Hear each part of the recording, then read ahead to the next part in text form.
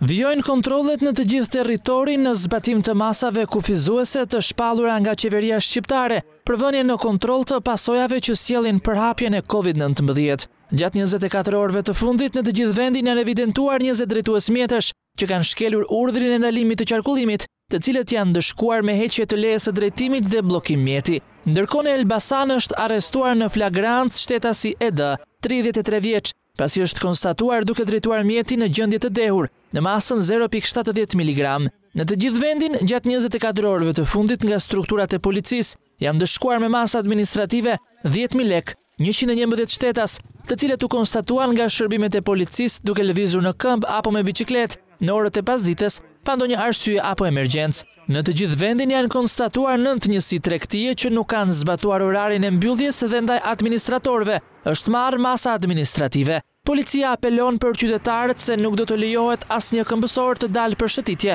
aktivitet sportiv apo për motive të tjera, përveç emergjencave mjekësore dhe atyre që shkojnë në punë, të cilët duhet të kenë me vete kartën e identitetit dhe vërtetimin e punës nga punëdhënësi. Për të bërë pazar në qendrat urbane, një pjesëtar i familjes duhet të aplikojë në e-Albania apo në numrin falas pesëdhjetë e pesë njëqind e pesëdhjetë e pesë për t'u pajisur me autorizim, ndërsa pensionistët nuk lejohen në mënyrë kategorike. të dalin nga banesa, shërbimet e policisë nëse do konstatojnë këmbësorë me mungesë të e-mailit apo mesazhit konfirmues nga e-Albania, do të aplikojnë gjobë ndaj tyre. Policia e Shtetit apelon për të gjithë qytetarët që të respektojnë masat kufizuese për të bërë të mundur parandalimin e përhapjes së Covid nëntëmbëdhjetë.